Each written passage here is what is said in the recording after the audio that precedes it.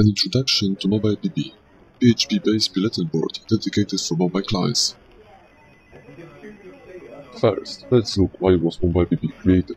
The chart below illustrates the load time of most popular forum engines.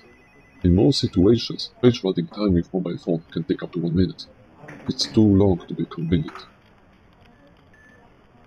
The download speed that can be achieved depends on a number of factors. One of them is the amount of data transferred over GSM infrastructure built mainly for voice services.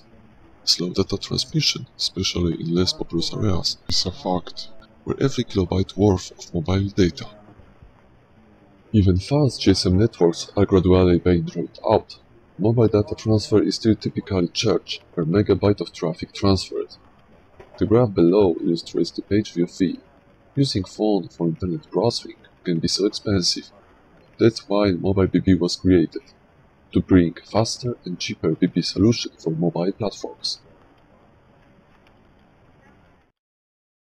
Main features. Lightweight engine does not rely on anything else except the essential phone functionality. There is no JavaScript, avatars, etc. traffic on mobile gadgets. MobileBB can be used commercially according to GPL license. One of the most goals of development was spam prevention, including registration control, fruit control, textual confirmation, page widening protection, and many more.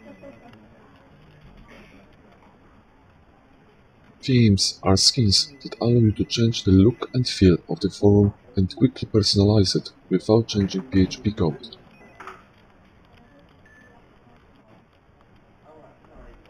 Simple registration form get visitors quickly join community.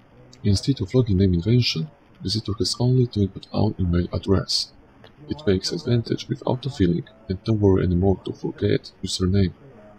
Of course, full email address will not be visible anyone other than the site administrators. The most common activity in each forum is to use the replay function. Quick replay function allows you to replay directly without even leaving the topic page.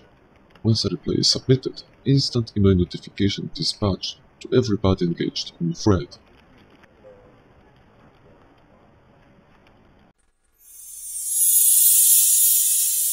For more details about project, please visit our website